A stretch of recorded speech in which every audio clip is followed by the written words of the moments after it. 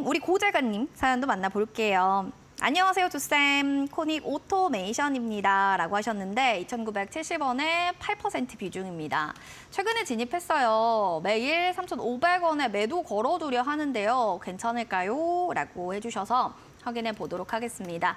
아, 지금은 그래도 좀 음, 조금 소폭의 수익을 내고 있어요, 전문가님. 일단은 매도를 3,500원에 걸어두는 게 가장 적절한 거냐, 전고점 뭔가 전에 살짝 또 얘기를 해주셔서 목표가를 잡으신 것 같은데요. 거기까지는 좀 올라갈 수 있는 퍼포먼스 있을까요? 일단 이 종목이 smart factory 사업하고 있는 기업이기도 하고요. 음. 보니까 2차 전지 검사 장비도 만들고 있어요. 어. 그리고 또 보니까 MXene 관련 종목군들 작년에 상승세 초전도체 이후에 MXene 관련 종목들 떴잖아요. 네.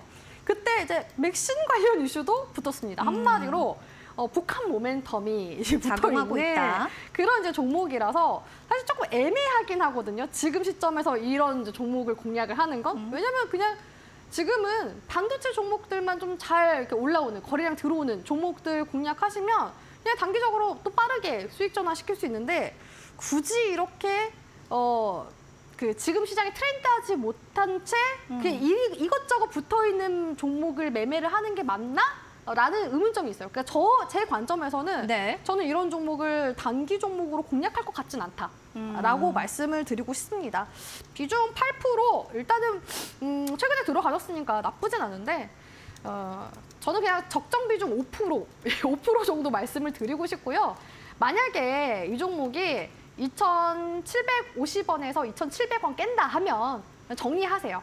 그리고 이제 반등 나온다 한다면 어, 작년에 말씀드렸다시피 이 백- 맥신 이슈 나왔을 때 단발적으로 빠- 반짝했거든요.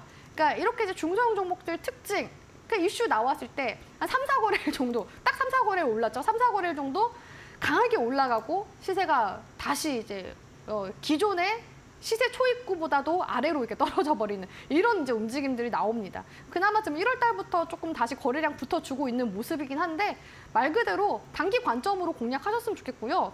보고 있는 구간대가 3,500원대라고 말씀을 이제 주셨는데 3,500원대 납, 어, 일단은 시세 가능성 있긴 하지만 저는 좀 더 보수적으로 3,300원에서 400원 선, 네, 음. 조금 더 낮춰가지고 보시는 게 좋지 않을까. 그래서 일단은 하단에 대한 부분들 어, 체크를 하시고 상단에 대한 부분은 목표가를 좀 더 하향을 하셔서 아니면 나눠서 걸어주세요. 3,400원에서 3,500원 나눠서 걸어두시면 그래도 반이라도 걸리면 나머지 잔량 대응하는 거 쉽잖아요. 그렇게 이제 대응해 나가시는 게 좋지 않을까라고 보고 있기 때문에 어, 제가 말씀드리고 싶은 조언은 어, 이렇게 이제 모멘텀이 다양하다고 해서 종목이 반영이 된다라기보다는 시장에서 트렌드가 어떤 지금 트렌드와 방향성으로 가고 있는지 이런 종목군을 발견, 어, 발굴을 하고 단기 공략하시는 게 훨씬 더 매매에 있어서도 skill up이 되신다라고 조언까지도 같이 함께 드리도록 하겠습니다.